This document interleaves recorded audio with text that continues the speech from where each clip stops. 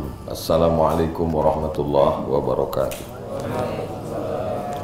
Alhamdulillah wassalatu wassalamu ala rasulillah wa ala alihi wa sahbihi wa man tabi'ahu wa mawalah Para ustaz-ustaz, guru-guru kita semua Tak dapat saya sebutkan satu persatu Sahabat-sahabat dakwah sekalian InsyaAllah kita semua dimuliakan Allah subhanahu wa ta'ala Amin Ya Rabbal Alamin Tadabbur ayat Surat Ali Imran 102 Ayatnya selalu dibaca oleh khatib hari Jumat. Al Imran 102 dan seterusnya. A'udzu billahi minasyaitonir rajim Idza qara'tal Qur'an kalau mau baca Quran fasta'iz billah. Mintalah perlindungan kepada Allah Kenapa? Karena boleh jadi setan akan membawa kita kepada yuharrifunal kalima amma wadhihi meletakkan ayat tidak pada tempatnya. Syekh Syarawi tidak menyebut yang dia sampaikan itu tafsir, tapi yang dia sebutkan khatarat. Khatarat. Yang bila dikata khatara, lintasan-lintasan dalam hati yang suci, yang bersih, tak mukjizat sudah putus dengan meninggalnya Nabi Muhammad SAW. Wahyu sudah berhenti, tapi ada ilham yang dibisikkan oleh malaikat. Kalau kita berada di tempat yang suci, didoakan malaikat Allah maafirlahu warhamhu dalam keadaan suci, berwudu dengan makanan yang suci, maka Allah berikan bisikan-bisikan yang suci. Berada di tempat yang kotor, makan kotor, maka datang bisikan setan disebut dengan was-wasatus sayatin. Kalau bersih disebut dengan ilham. A'udzubillahi minasyaitonir rajim.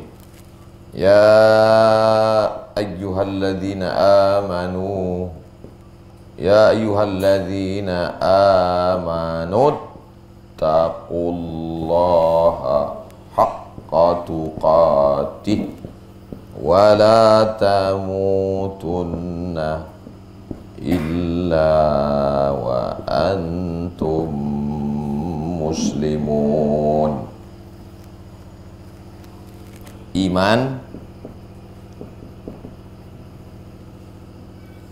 takut Islam orangnya muslim.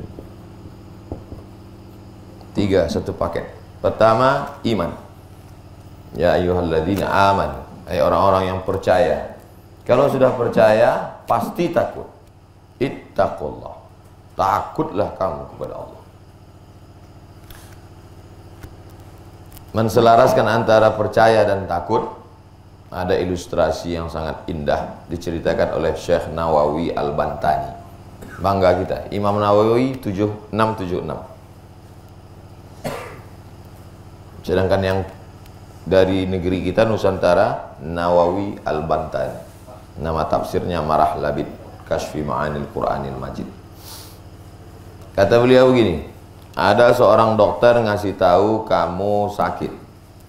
Kamu nih sakit kata dokter. Percaya kita kepada ucapan dokter itu bahwa kita sakit percayanya itu disebut dengan iman Lalu kemudian setelah dokter mengatakan kamu sakit, maka kamu jangan makan ini. Ini pantang, nanti penyakitnya makin parah. Takutnya kita sehingga kita tidak menjadi, tak jadi kita makan itu, maka itu disebut dengan takwa. Takwa atau takut. Simple saja dia menjelaskan. Jadi ulama itu Bagaimana mensederhanakan yang ribet, jelimet, susah, payah, mudah dicerna. Itulah ulama. Bilisani qaumihi dengan bahasa kaumnya. Sekarang tidak. Sekarang ini masyarakat lain, makin susah difahami, ah, itulah disebut orang berilmu. Intelektual, sarjana muslim, makin payah dipahami bicaranya, makin sulit dipahami isi kalimatnya, ah, itulah disebut dengan orang berilmu. Padahal dulu tidak. Nabi Muhammad SAW dia duduk. Di situ ada orang paling cerdas Sayyidina Ali. Di situ ada budak hamba sahaya miskin Bilal bin Rabah. Tapi semuanya bisa paham ucapannya. Nah, jadi bagaimana kita menyederhanakan sesuatu yang simpel yang sulit yang ribet yang jelimet yang susah yang payah? Syekh Nawawi Al-Bantani membantu kita untuk mudah memahami antara iman dan takwa. Kalau sederhananya untuk zaman sekarang, kamu kena penyakit diabetes. Percaya kita ucapan dokter itu bahwa kita kena penyakit diabetes, percayanya itu iman. Karena bapak sudah kena penyakit diabetes, jangan banyak minum teh manis, jangan banyak minum gula, jangan makan yang mengandung gula takutnya kita sehingga tidak kita minum teh tidak minum kopi tidak minum yang manis-manis takutnya itu disebut dengan takwa. Jadi kalau ada orang sudah periksa ke rumah sakit diperiksa urinnya lalu kemudian pulang dari situ dia tetap juga makan manis-manisan. Lalu kemudian periksa sekali lagi kata dokter kau percaya sama saya? Percaya. Kenapa kau makan juga yang manis ini?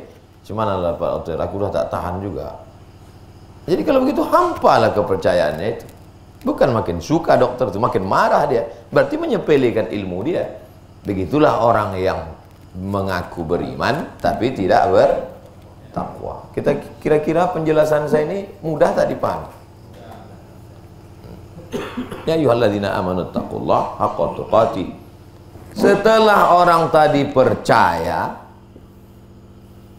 dari percayanya datang takutnya, barulah dia bisa berserah diri kepada Allah.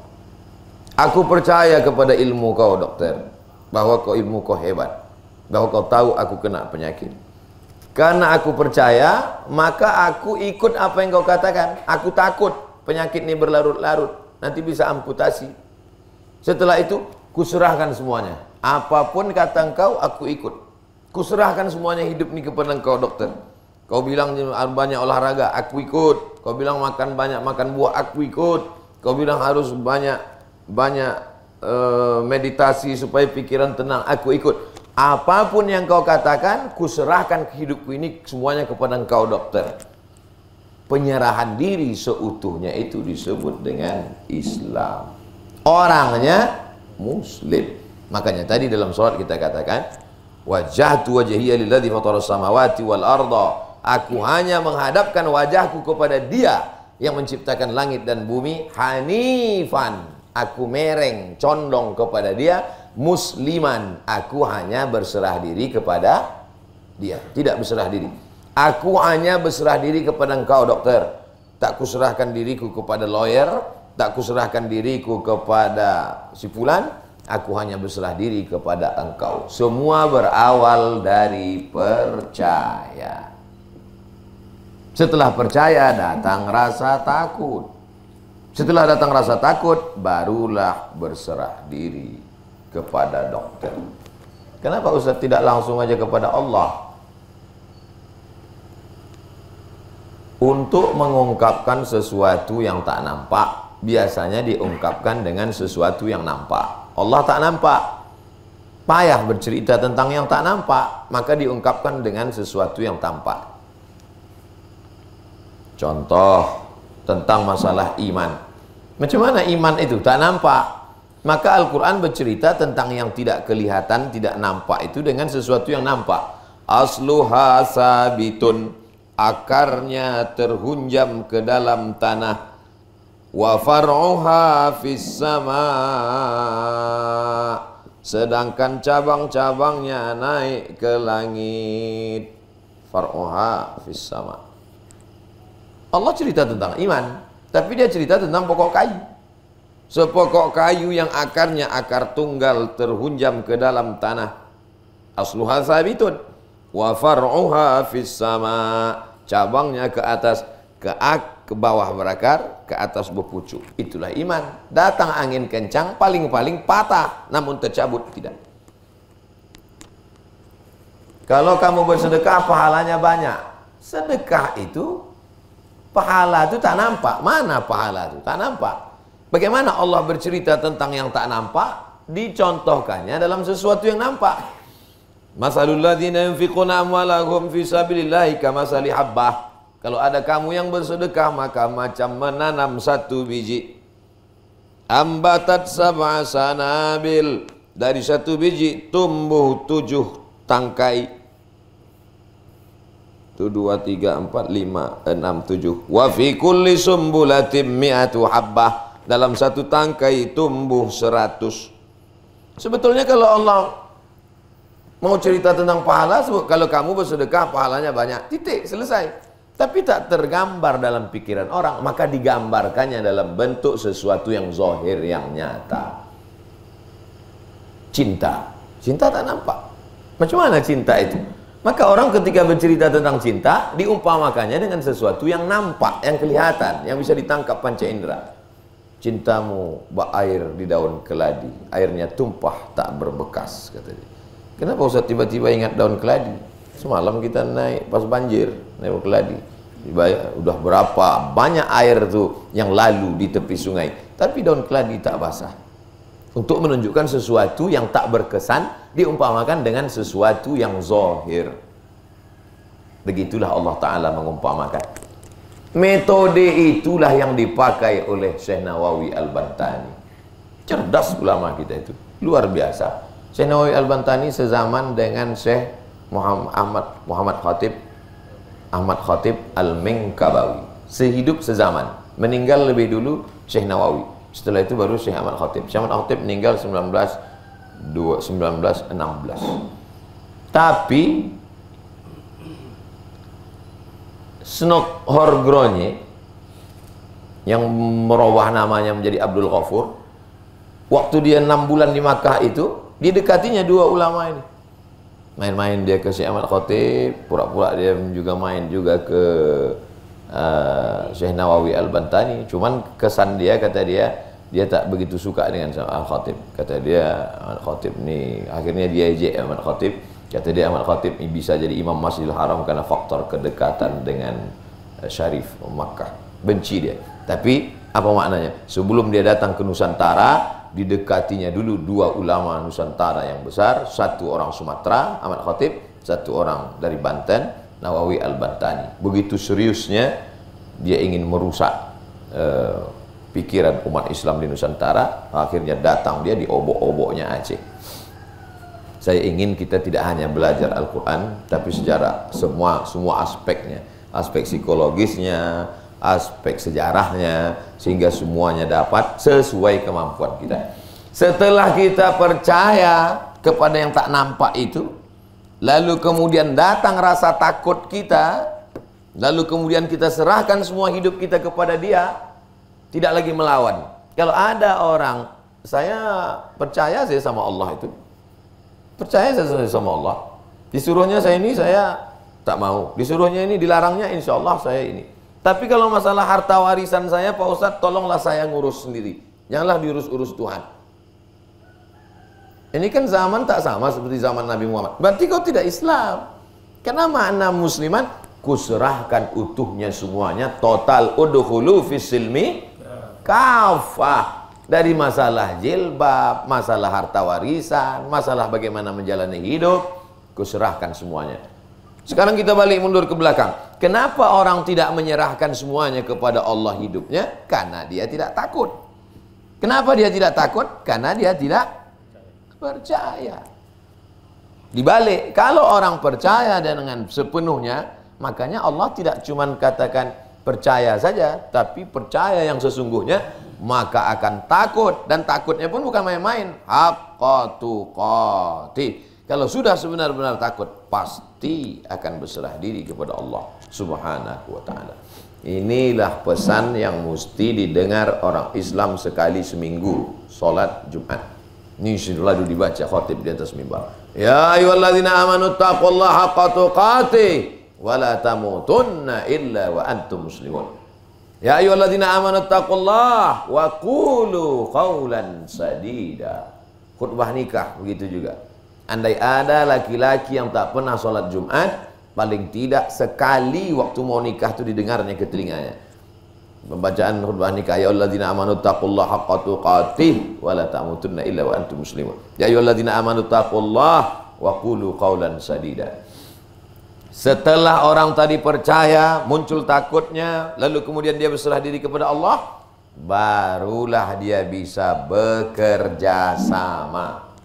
Wa'tasimu bihablillahi jami'a Mengapa kita selalu tidak bisa bekerja sama sama orang? Muncul kecurangan, menikam dari belakang, menggunting dalam lipatan, menjegal kawan seiring. Pak Ustadz yang berkawan sama dia Pak Ustadz. Kenapa? Dia itu ular. Kalau Ustadz jumpa dia sama jumpa ular, ah, bunuh dia dulu. Sampai begitu bencinya orang. Kenapa? Kenapa kita tidak bisa bekerja sama? Karena ayatnya bukan ujuk-ujuk tiba-tiba wa'tasimu bihablillah. Kamu baru bisa bekerja sama mundur ke atas. Kalau orangnya berserah diri kepada Allah, sama-sama ikut aturan Allah dan orangnya hanya takut kepada Allah. Insya Allah kita yang satu rombongan 50 orang ini adalah orang yang bisa bekerja sama sampai mati insya Allah. Mana buktinya? Ini bertahun-tahun.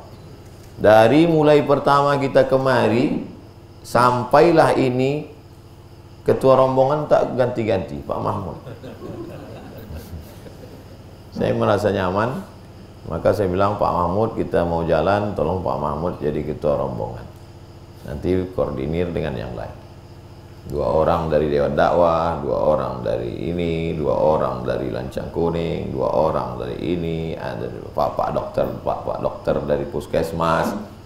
Mudah-mudahan kita ini semua adalah termasuk orang-orang yang bisa wa'tasimu bihablillah karena ittaqullah iman dan wa antum muslimun. Kalau tidak tak bisa, tak bisa kita bekerja sama. Mana mungkin kita bisa bekerja sama, berbeda. Orang jangankan mau kerja sama untuk menegakkan Islam, mau kerja sama sama-sama main bola aja kalau ikhtilaf tak bisa. Yang satu mengatakan gol. Gol kata dia. Menurut saya ikhtilaf dalam masalah ini. Tak bisa. Yang satu makanya di awal itu disepakati dulu bahwa ini kita sama-sama ikut aturan yang sudah dibuat oleh FIFA. Statuta namanya. Kalau kita ikut aturan ini bisa baru bisa main bersama. Kalau tak bisa tak bisa kalau tidak bisa ikut aturan itu tidak bisa akan jalan. Wa atasimu bihablillahi jami'a. Setelah kamu beriman kepada Allah, takut kamu kepada Allah, serahkan semuanya dirimu kepada Allah, barulah kalian bisa bekerja sama. Tapi ingat, wala tafarraqu. Kenapa diulangnya dua kali? Padahal ini sebetulnya cukup. Bekerja samalah Berpegang teguhlah kamu dengan tali Allah. Yang dimaksud dengan tali Allah Islam. Yang dimaksud dengan Islam itu Quran Sunnah. Jami'an semua. Wala tafarraqu. Karena ada orang yang sudah bekerja sama tapi kemudian dia berpecah belah. Sebab apa? Materi. Menguji emas dengan api. Nana tahu nanti kita mencangkol-cangkol situ tiba-tiba dapat hitam. Eh, apa nih Ustaz? Entah emasnya nih Pak Ustaz. Coba kita bakar dulu. Bakar dengan api. Kalau kita bakar dengan api menyala, tiba-tiba meleleh dia, kuning, bawa pulang. Kita jual di Ramayana. Emas itu. Tapi kalau udah kita bakar sampai sore nanti tetap hitam, tinggalkanlah. Batu gilingan itu banyak di Pekanbaru. Kenapa wala tafarraqunya setelah wa'tasimu? Karena ketika sebelum wa'tasimu tak nampak. Nampak saya bapak bapak menengok saya dari jauh, nengok Ustaz Somad dari jauh macam gunung Himalaya yang indah bersalju di atas berbunga-bunga. Begitu kita berkawan akrab dekat. Hmm, ceramahnya yang mantap ternyata akhlaknya muak kali aku yang Ustaz Somad. Cukuplah sekali jalan ke talang mamak ni. Habis rupanya duit uh, duit apa uh, tablik akbar kemarin dibelikannya ke minyak mobilnya wala tafarraqu. Jangan berpecah belah. Kenapa? Karena orang setelah berjalan bersama wa'tasimu bihabillah barulah muncul-muncul gesekan-gesekan clash muncul Inna syaitana qad ya'isa an ya'budahul musallun Sunan Tirmidzi Setan sudah putus asa kalau melihat orang sholat. Begitu setan melihat kita sholat, setan sudah putus asa untuk menggoda kita. Sembahlah aku, sembahlah aku, kata setan. Tidak. Dia sudah putus asa. Walakin fit tahrish. Tapi ditanamkannya permusuhan ke dalam hati kita. Dalam hati kita ini ada gesekan, gesekan. Dalam hati kita ini ada mulai macam-macam di dalam. Makanya dipesankannya wala tafarraqu amar nahi amar wa'tasimu berpegang teguhlah kalau udah berpegang teguh berjalan bersama jalan-jalan kita kemari bersama membawa bantuan bersama dengan misi yang bersama walaupun dengan personel berbeda dari ormas berbeda selesaikah belum wala tafarraqu tapi orang mesti diingatkan tentang masa lalu bagaimana caranya wazkuru ni'matallahi alaikum واذكروا نعمة الله عليكم إذ كنتم أعداء فألف بين قلوبكم فأصبحتم بنعمته إخوانا واذكروا memori masa lalu karena orang lupa makanya tadi malam ini dulu yang saya ingatkan Ingat sahabat-sahabat, dulu kita pertama kali datang kemari gelap, sekarang sudah terang. Ingat kawan-kawan, dulu lantainya pasir kasar, sekarang sudah keramik. Ingat kawan-kawan, dulu kita datang kemari sempit, sekarang sudah lapang. Dulu kita numpang tidur sebagian di rumah Pak Yahya, sekarang kita udah bisa di sini. Ingat dulu kita turun ke bawah, sekarang tak lagi takut turun ke bawah sudah di atas. Ingat dulu lampunya 5 watt, sekarang sudah besar. Orang perlu diingatkan lagi karena orang kena penyakit lupa. Alam yakunut fatam mimani yumna. Bukankah dia diciptakan dari air yang hina? Summa yakunu alaqatan fa khalaqa fasawwa. Dari air yang hina itu lalu diciptakan Allah dia menjadi mulia. Alaysa zalika biqadirin ala ayyuhiyal mauta? Apakah Allah tak sanggup kalau dia dimatikan lalu dihidupkan Allah lagi sekali lagi? Itu kan sebenarnya mengingatkan kita tentang dari mana asal muasal kita. Apa kata Sayyidina Ali karramallahu wajhah? Manusia itu kok sombong sekali. Awaluhu nutfah, akhiruhu jifah. Awaluhu nutfah, akhiruhu jifah. Awalnya sperma, ujungnya bangkai. Kok sombong? Tapi ini jangan dibawakan nanti diceramah depan-depan pejabat. Eh, pejabat-pejabat, awal kalian sperma, ujung kalian bangkai. Artinya apa? Orang ini diingatkan lagi. Ada orang merantau ke suatu kota. Sekarang tiba-tiba dia udah kaya, udah hebat, sombong dia. Orang yang kenal nenek mama yang ada di situ mengingatkan dia sini. Kau dulu kan datang sini miskin kan, susah kan. Kok sombong sekarang? Diingatkan lagi. Setelah bersama, muncul sombong, muncul ego. Wazkuru ni'matallahi alaikum. Iz kuntum a'daan. Dulu kalian bermusuhan, berkelahi. Lalu sekarang kalian menjadi bersaudara bersama-sama dalam rombongan tolong talang 2020 ini. Siapa yang menyatukan kalian? Fa'allafa. Dia yang menyatukan baina qulubikum fa asbahtum bi ni'matihi ikhwana. Sekarang kamu sudah menjadi ikhwan. Ikhwan, kita bersaudara. Bersaudara bukan karena harta, bukan karena jabatan. Kita bukan orang politik, kita bukan orang ekonom. Kita bersaudara karena fa asbahtum bi ni'matihi. Kamu bersaudara karena nikmatnya. Nikmat yang mana? Al yauma akmaltu lakum dinakum wa asmamtu alaikum nikmati nikmat itu ini maksud Allah. Wa atmamtu alaikum kusempurnakan pada kamu nikmati apa itu? Wa raditu lakumul Islam. Karena Islamlah kita bersaudara. Hari ini terbukti ada yang Batak ada yang Jawa ada yang macam-macam sampai ada yang bertanya tadi Ustaz Somad iya itu kawan Ustaz yang dari Jakarta Pak Ghazali itu orang apa Tergantung saya bilang. Dia kalau jumpa orang Jawa bisa jadi Jawa. Jumpa Batak dia bisa jadi Batak. Jumpa Makassar dia jadi Makassar. Malam namanya Gozali, siang Gonzales.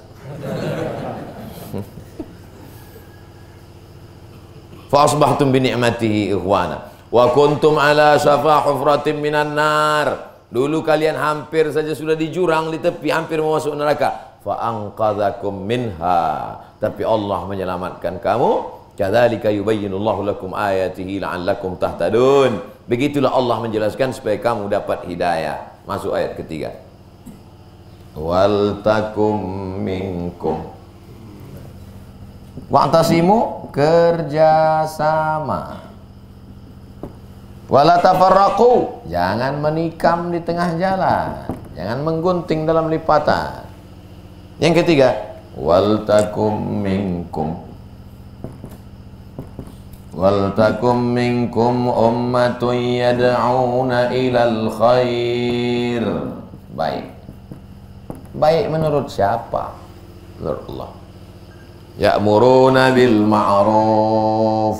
Mengajak kepada buat baik. Wa yanhauna 'anil munkar. Inilah geng kelompok kita. Kita menjadi umat yang terbaik. Kuntum khaira ummah. Kamu umat terbaik. Kapan kita menjadi umat yang terbaik? Kalau kita melakukan tiga. Ta'muruna bil ma'ruf wa tanhauna 'anil munkar wa tu'minuna billah. Pertemuan kita ditolong talang ini karena mau melakukan ta'muruna bil ma'ruf wa tanhauna 'anil munkar. Tapi ini tidak bisa dilakukan one man show. Sendiri-sendiri tak bisa. Maka kita mesti bekerja sama. Kawan kita bekerja sama itu siapa? orang yang berserah diri pada Allah, takut kepada Allah dan percaya kepada Allah. Barulah kita bisa jalan bersama. Kalau tidak, sudah lama kita bubar. Alhamdulillah. Ini yang keberapa Pak Muhammad kita masuk bersama-sama?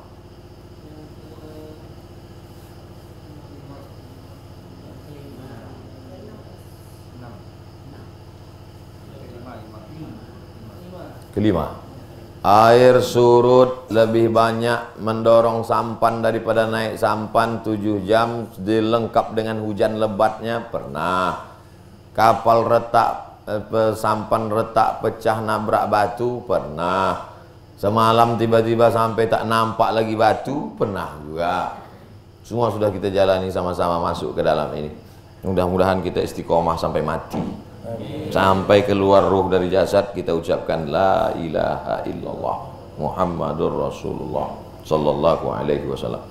Semua yang ikut kelompok ini adalah sahabat-sahabat kawan-kawan lama dulu.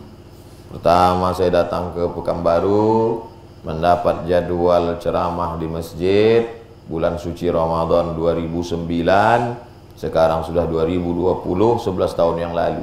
Yang ngasih jadwal ceramah Ustaz Asrori. Nah ini dia orang. Majelis dakwah Islamia saya nunjuk nih maksudnya siapa yang mau dapat jadwal khutbah? Ada dekat-dekat sama dia.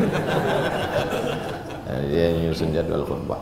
Sampai sekarang tak berubah. Dari dulu sampai sekarang tak berubah saya diajak-ajak orang dicaci-caci maki orang beliau bagian khutbah bagian ngurus ceramah saya mengasih saya jadwal ceramah tapi ada orang yang membuli saya, mengejek-ejek saya, mencaci maki saya. Itu bukan bagian beliau. Beliau tak pernah datang ke rumah orang yang mengejek itu. Yang datang ke rumah orang mengejek itu, ah, itu dia yang rambut panjang.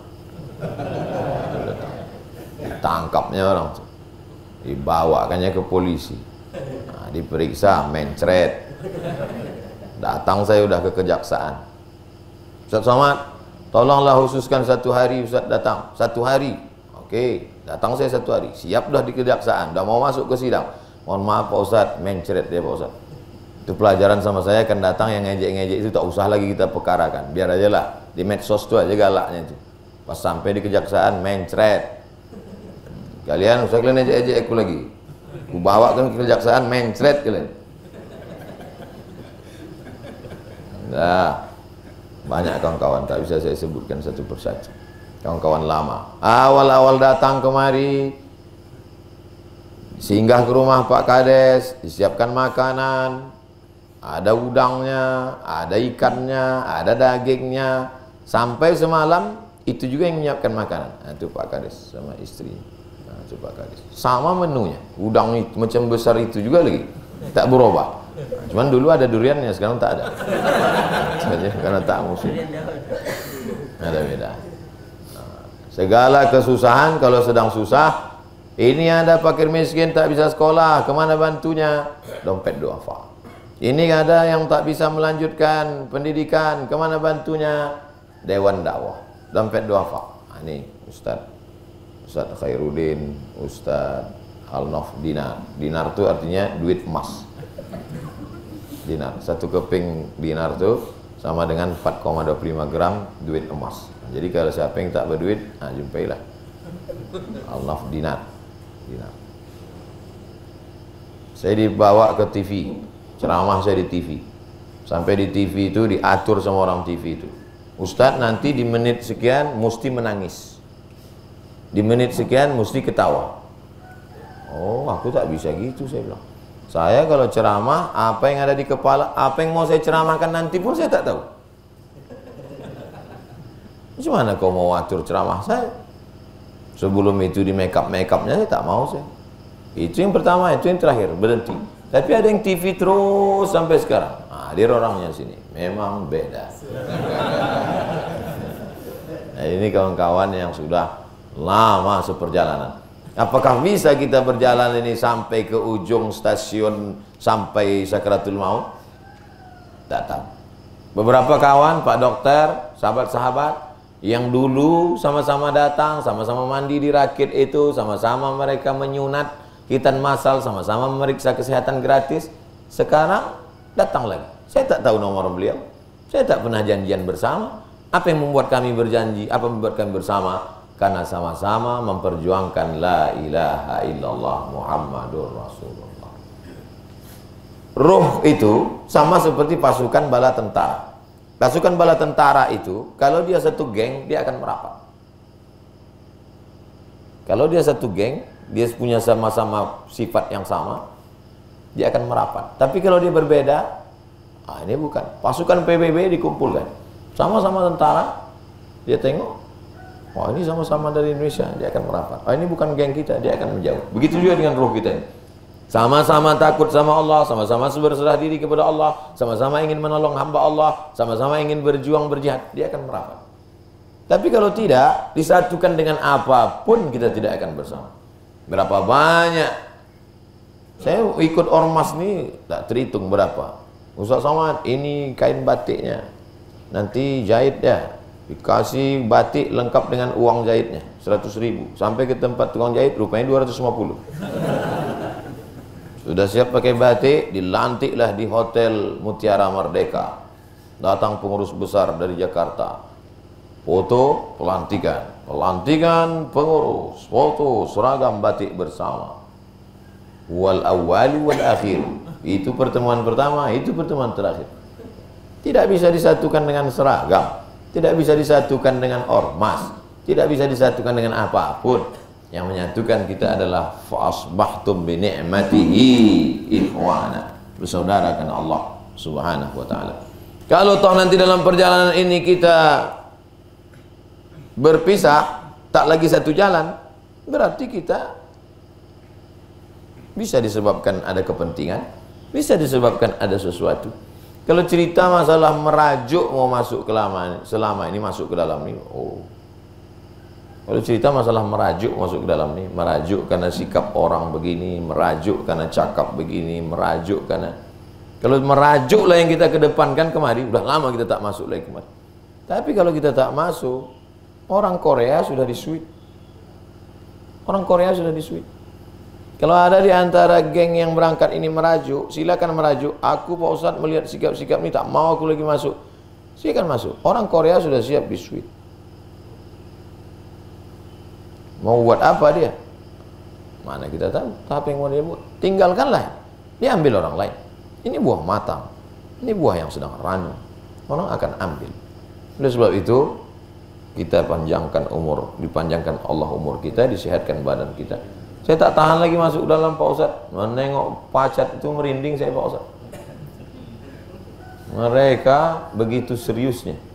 Kita, oleh sebab itu maka inilah tadabbur ayat kita mudah-mudahan wal takum minkum ummatu yad'una ilal khair ya'muruna bil ma'ruf wa yanhauna 'anil munkar wa ulaika humul muflihun Muflihun diambil dari kata falah. Falaha. Falah. Inilah yang dipanggil orang Islam satu hari. Berapa kali? Ayyalal falah. Hmm, tengok. Berarti dia selalu mengikuti ceramah saya. Asal terdengar suara azan, pasti anjing melolong. Oh, karena karena anjing menengok setan. Itu bagi yang tak percaya ceramah saya, kan? Kedengaran anjing melolong kan? Lari setan-setan tuh. Kenapa? Karena setan, anjing bisa menengok setan. Siapa yang mau menengok setan, pakailah mata anjing. Ya alal falah. Jadi yang menang itu bukan yang profesor doktor, yang menang itu bukan yang kaya raya rumah besar jendela batu, jendela kaca. Yang kaya, yang menang itu bukan yang orang IP-nya 4 koma. Yang menang itu siapa? Nilai yang menang. Siapa itu orang yang menang? Ujung, mundur kita belakang. Siapa itu orang yang menang? Beriman. Setelah iman, takut. Setelah takut, berserah diri pada Allah. Setelah berserah diri pada Allah, bisa bekerja sama. Dalam kerja sama itu jangan menikung di tengah jalan. Kalau sudah kita angkat dia jadi poreder, jangan poreder pun disalib juga. Kita kena angkat dia jadi poreder penunjuk jalan. Makanya saya dalam perjalanan, mana Pak Mahmud? Pak Mahmud di belakang, biarkan mobil Pak Mahmud depan. Dia imam kita. Kita ini prinsipnya dua saja. Kalau bisa jadi makmum, jadilah makmum yang baik. Kalau bisa jadi imam di depan. Jangan diletakkan di belakang menanduk, di depan bukan menyipak. Letak depan, menyipak ke belakang. Letak di belakang, menanduk ke depan. Nah, ini kalau ada kawan model begini, potong aja dulu tak. Tak betul bekerja sama. Setelah bekerja sama, jangan menikung, menikam dari belakang. Kalau lupa, ingat-ingatkan, waskuru. Itulah mesti ada sering pertemuan. Ingat-ingatkan lagi. Hari kita ada pertemuan ini, pertemuan berkala, pertemuan tiga bulanan. Untuk apa? Saling ingat mengingatkan. Kita mesti ingat bahwa kita ini bersaudara karena Allah, bukan karena suku, bukan karena seibu sebapak, bukan karena satu ormas, bukan karena semazhab, tapi karena la ilaha illallah Muhammad Rasulullah. Setelah kita bisa bersama, apa yang kita lakukan? Amar ma'ruf nahi mungkar. Bisa kita melakukan ini, barulah kita muflihun. Kalau tidak, khasirun. Innal insana lafi khus. Rugi kita ini semua. Tapi kalau kita bisa bersama, tapi jangan lupa falah bisa juga menjadi falah. Apa falah? Petani. Kenapa orang yang menang itu disebut petani? Karena proses petani sulit. Mencangkol tanahnya berkeringat. Mengambil benihnya mesti ada selektif. Benih ditanam belum tentu tumbuh. Disiram belum tentu bercabang. Pecah kulitnya, keluar tunas. Dimakan ulat, mati. Mesti dikontrol, diawasi, ditutup dengan plastik. Terlalu ketat plastiknya, tak masuk cahaya matahari. Mati, busuk juga. Mesti diawasi, ditengok terus sampailah tumbuh berkembang.